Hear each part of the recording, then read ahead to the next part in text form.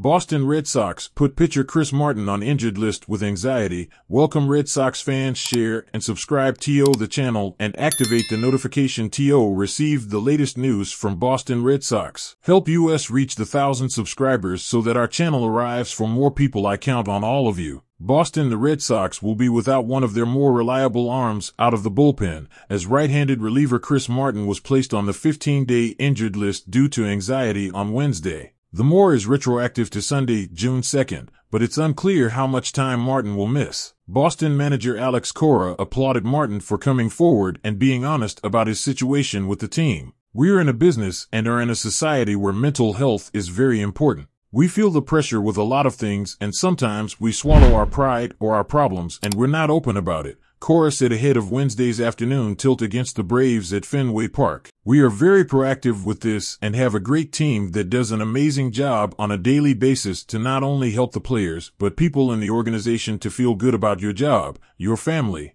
and everything that comes into play to be the best that you can be. The fact that he took a step forward and was very honest about how he was feeling, I applaud that. He's going to be okay. Whenever he is ready, he is ready, Cora added of Martin. We don't know if it's short term or long term, but with the team that is doing to surround him, he's going to be okay. It's not often that players land on the IL due to anxiety, though former Red Sox pitcher Daniel Bard was placed on the injured list for that same reason last March while with the Colorado Rockies. Bard returned for Colorado in mid-April and appeared in 50 games for the Rockies last season. The 38-year-old Martin had a 3.10 ERA and was holding opposing hitters to a .236 batting average against over his first 20 appearances, but was hit hard his last time out for Boston. He last took the bump against the Detroit Tigers last Thursday on May 30th and surrendered three runs off four hits, including two home runs and a 5-0 Red Sox loss. That outing saw his ERA jump to 4.22 for the season, which is astronomical compared to his 1.05 ERA across 55 appearances last season.